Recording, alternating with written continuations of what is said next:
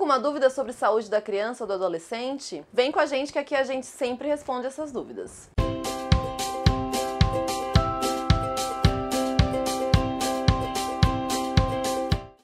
Família Criare! Bem-vindos mais uma vez. Eu sou a doutora Mariana e esse é o canal da Criare Pediatria. Hoje nós vamos apresentar o nosso Doutora Responde, que é uma série em que nós respondemos diversas perguntas que nós recebemos, tanto aqui no YouTube e também nas nossas outras plataformas. No Instagram, no Facebook, nós temos um grupo de, um grupo de pais e de mães lá no Facebook, a gente deixa linkado aqui para vocês, se vocês quiserem entrar. Que lá a gente responde dúvidas, perguntas, a gente vai conversando sobre diversos temas aí, tanto da saúde da criança quanto do adolescente. Hoje nós vamos receber uma dúvida que nós recebemos lá no, no nosso Instagram. Não conhece o nosso Instagram ainda? Segue lá que lá tá bem bacana. A gente faz nossos stories, colocamos vários posts sobre a saúde da criança e do adolescente. É bem legal. O que a gente recebeu hoje, vamos lá. É uma pergunta da Aline. A Aline perguntou o seguinte: sobre a dermatite atópica. O que é isso? O que a criança pode e não pode comer e usar? Aline, muito obrigada pela sua pergunta. Já dei uma adiantadinha lá na resposta, certo? Mas vamos falar um pouquinho mais sobre isso. O que é dermatite atópica? A dermatite atópica é uma condição muito comum aí na infância. Ela é, é, uma reação de pele. A pele vai ficar aí cheia de bolinhas vermelhas, como se fosse aí uma reação alérgica. E na verdade, a dermatite atópica, atopia, se diz respeito justamente a isso, a um tipo de alergia. É uma reação que o organismo pode apresentar a diferentes agentes e muitas vezes esses agentes não são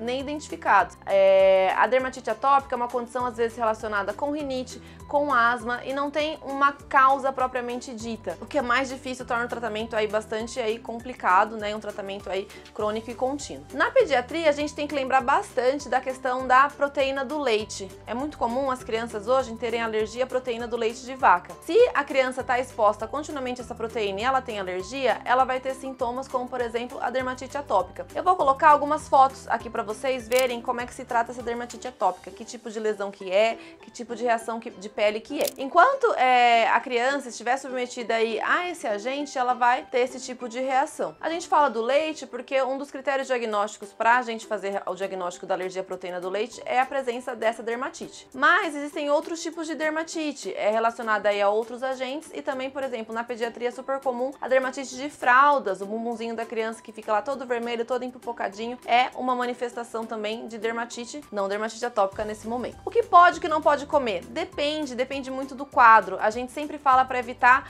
o máximo as coisas mais artificiais, que tem corantes. Então, danoninhos, é biscoitos, refrigerantes, balas, pirulitos, tudo que tem aí corante, aquele corante vermelho, aquele corante amarelo, eles são aí prováveis de causar aí uma reação alérgica, de piorar esses quadros. Esse a gente fala aí para evitar para todo mundo, inclusive, né, quem não tem nenhuma condição de base, porque não é saudável consumir esses alimentos com frequência, só de vez em quando. Mas, é, daí as outras coisas vão depender da criança. Então, se ela tem uma alergia à proteína do leite, ela não pode consumir leite. De repente, uma outra pode consumir sem problemas. Então, isso depende. O que usar na pele, que a Aline perguntou aqui também, bastante hidratação. E tem que hidratar com substâncias neutras, hidratantes neutros. Então, não pode ter cor, não pode ter cheiro, tem que ser o mais leve possível. E passar bastante em abundância, porque a hidratação da pele é um dos pilares aí do tratamento. A dermatite atópica ela pode complicar, tem alguns momentos que ela tá mais exacerbada, muitas vezes relacionadas com condições até emocionais. Em alguns momentos ela pode estar mais leve, ela pode melhorar com a idade, tá? Tudo isso vai ter que aí ser realmente acompanhado. É uma condição que precisa de um acompanhamento e de uma avaliação individualizada para identificar o que está acontecendo.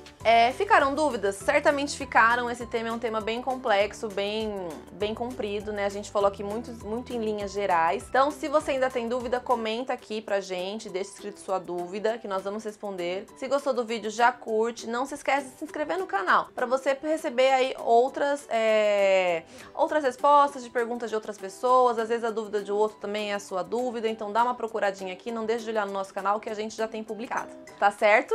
Bom, por enquanto, obrigada e até breve.